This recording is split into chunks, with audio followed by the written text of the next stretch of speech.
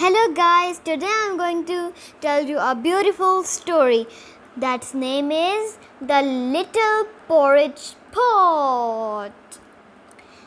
Here was once a little girl who lived with her mother in a little house on the edge of a village.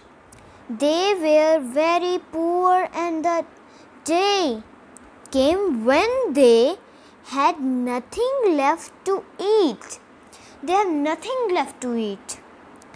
So the mother sent the little girl out into the forest.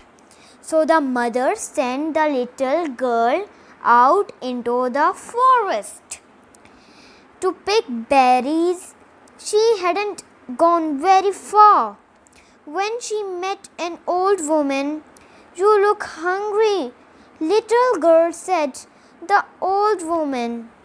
Oh, I am sad, the little girl. My mother went. I have no food left at home and no money to buy any. I can help you, said the old woman. And she took a little cooking pot from her bag. Take this pot, my dear. And when you say to it cook, little pot cook, it will hiss and bubble and fill with steaming hot porridge. And when you have announced, you can say, Stop, little pot, stop. Then it will stop cooking. Oh, thanks, you said the little girl, and she ran all the way home to her mother.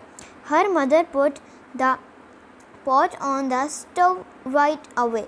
Cook, little pot, cook, said the little girl, and at once the pot began to hiss and bubble and to fill with steaming or hot porridge.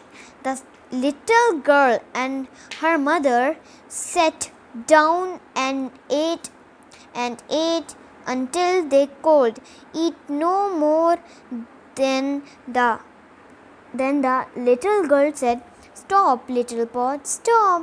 And the pot stopped being cooking.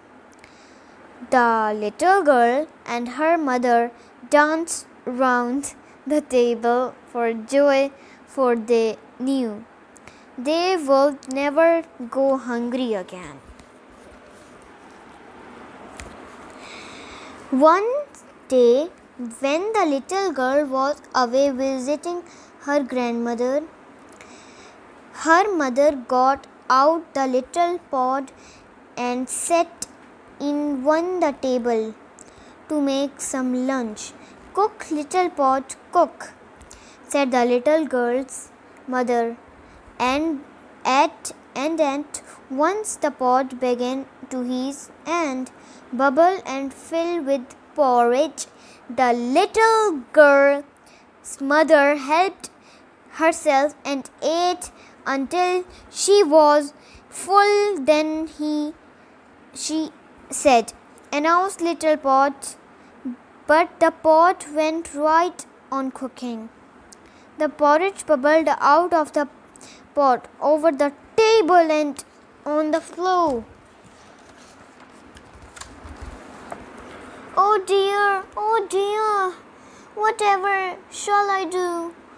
wailed the little girl's mother try as she would she just couldn't remember how to stop the pot cooking by now the porridge was pouring out through the door into the garden and it didn't stop there it streamed into the house next door and along the street into all the neighbor houses.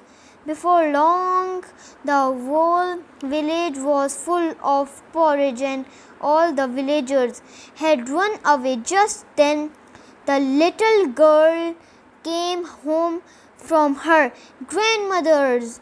Stop, little pot, stop, she said, and the little pot stopped cooking, and all the villagers had to eat their way back home again. Okay, friends, the story is end. Now I will see you later in next day in the story. Okay, bye.